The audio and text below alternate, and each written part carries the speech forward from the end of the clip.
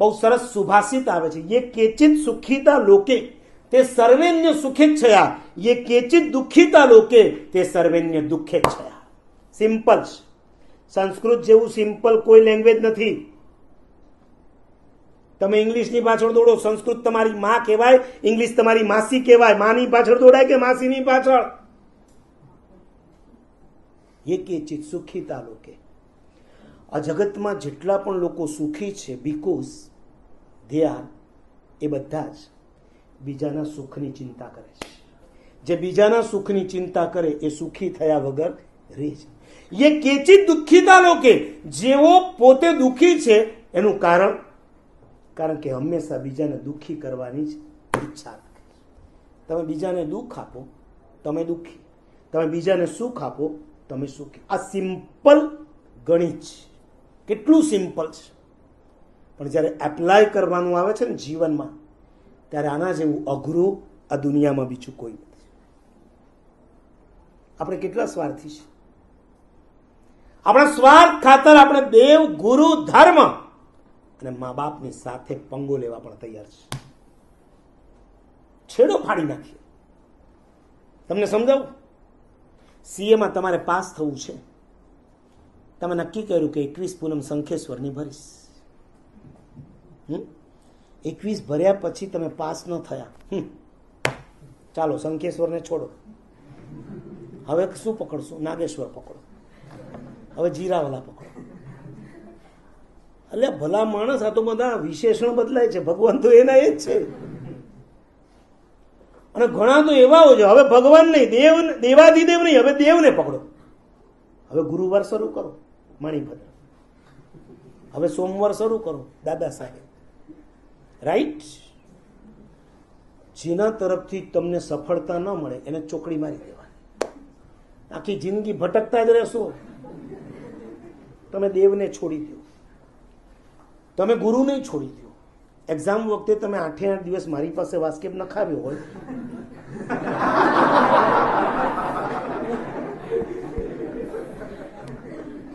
અને રિઝલ્ટ તમે મને મોઢું બતાવવા આવો ખરા.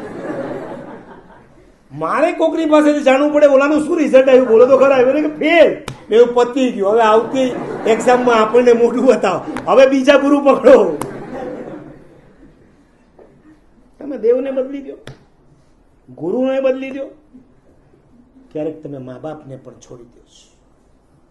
મેરેજ થયા પછી પત્ની કદાચ તમને એમ કે તમે ઘર અલગ લેવાના હો, તો જ હું તમારી સાથે મેરેજ કરું. લવ થઈ ગયો છે.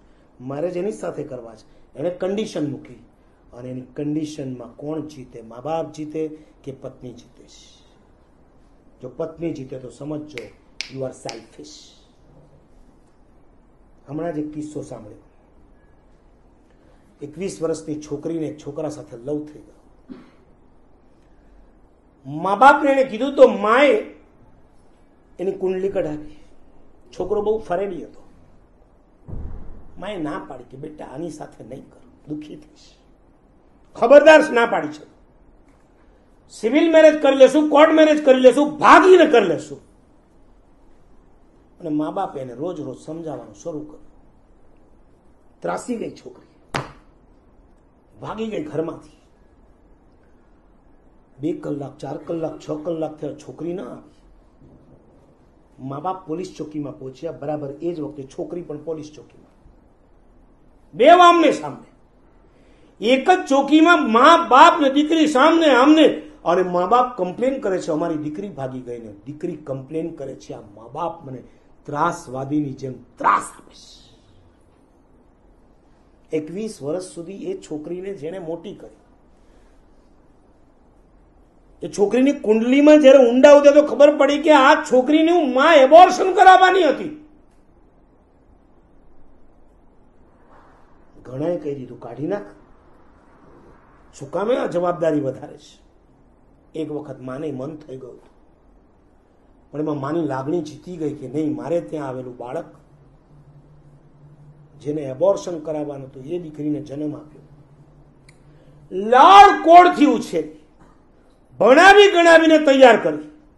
એકવીસ વર્ષ સુધી એને કોઈ દુઃખ ના આવે એની કાળજી રાખી. એ છોકરી પોલીસ ચોકીમાં જઈને કમ્પ્લેન કરે છે. મારી પણ કોઈ લાગણી હોય કે ન હોય? મને પણ કંઈ પ્રેમ પ્રેમ જેવું હોય કે ન હોય?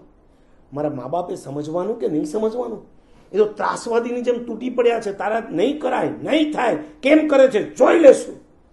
લખો મારી કમ્પ્લેન મારા મા બાપની. સામે આવું સાંભળીએ ત્યારે એમ થાય કે કેટલી સેલ્ફિશનેસ આવી ગઈ છે. એકવીસ વર્ષના તમારા મા બાપના ઉપકારને જો નજર સામે લાવો ને, એકવાર તો તમને એમ કહેવાનું મન થઈ જાય, મમ્મી, જિંદગી સુધી તારા માટે હું પરણીશ નહીં. તે અમારા માટે જે કર્યું છે, આવેલું પાત્ર તને કદાચ સાચવે કે ન સાચવે, દુઃખી કરે, એ મારાથી સહન નહીં થાય. એ કરતાં બેટર છે, હું મેરેજ નહીં કરું, પણ તમારી સેવા કરીશ.